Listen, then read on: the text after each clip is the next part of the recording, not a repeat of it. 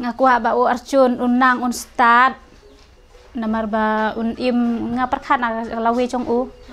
Ba unang un start ba yo. Kata kacing mut kacing perkhat kin kebabiang. Wat lada udona rong dan kita kacing kermen ba un kiu sya ma kum ba kiu lam mengi kebabiang babin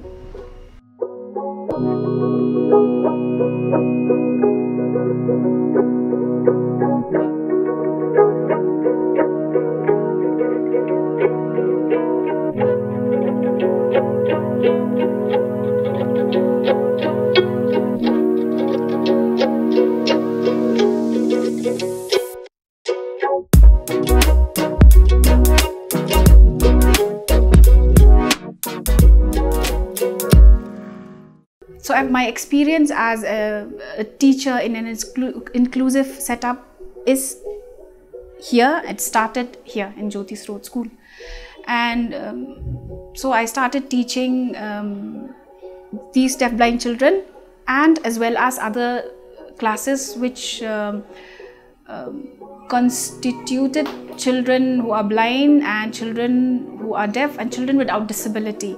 Most of the teachers in Jyoti Sroat School are um, specially trained. Some are trained in visual impairment, some are trained in uh, hearing impairment, some are trained in handling children with intellectual disability, and a few are trained in handling children with autism. Our focus always is, as I said, we only segregate garbage. For everything else, we include. So, so we are not saying that our programs are only for persons with disability. They started off with that because persons with disability need to be included in society. So, right from the very beginning, whether it's in the school or in the skill development, we look at people who have been deprived, people who have been most deprived, and we bring them all together. And the focus always is how do we change the system? You don't change individual people to fit into the system, but we change the system which will include.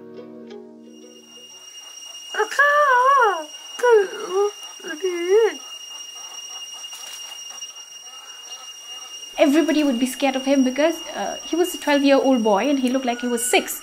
You know tiny little uh, thing.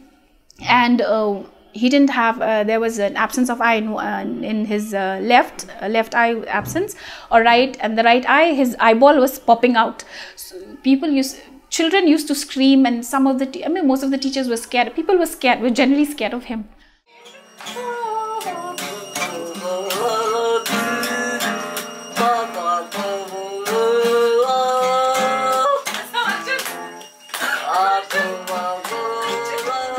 training i understood that it was not it was and um, it was all because nobody would understand his communication. He didn't he didn't know how to communicate with others and others did not know how to communicate with him. My plan for him my intervention for him let me say is um, i made sure that he learned sign language um, which in our deafblind world we call it uh, tactile sign language. So my full concentration on was teaching him communications my name is Lumlang. L L U M L A N G. Lumlang. Ten minutes away from Lumlang's house lives a boy named Arjun who is blind and also under the care of Bethany Society.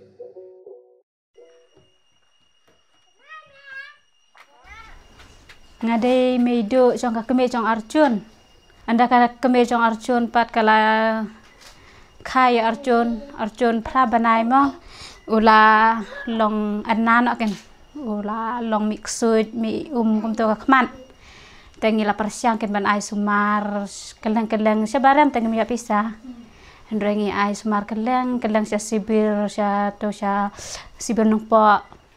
Ndrengi mla syuk ken ban sumare u te menta pate la sukumian kena duk bapa sebet tani tu ula long kena kin. Ula sengat ula pelung ula bahabreu mah ngira ngiladap dak sing kemen ka bakra kin.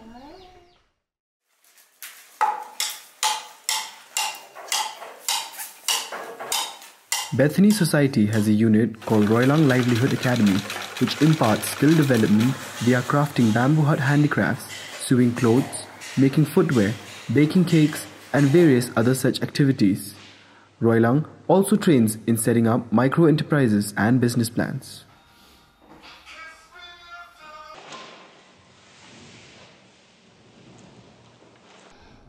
I changed my careers and reincarnated myself about 25 years ago, where I had qualified completely in all my professional work, but then the brain fascinated me and human high performance, excellence in endeavor, and I started researching the brain from basics.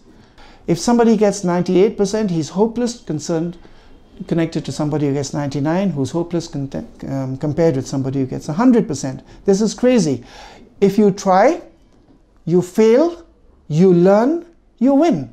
That is the loop that is required. Try, fail, learn, win, so nobody is left behind.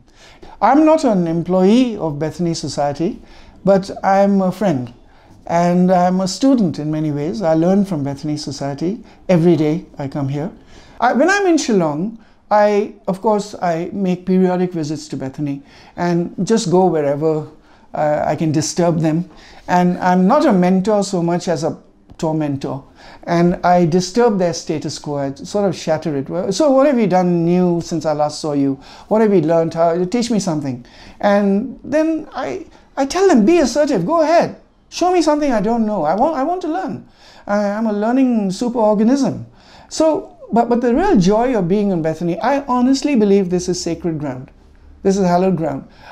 I come as a sinner who wants to clean up. And every time I set foot on Bethany, I feel cleaner.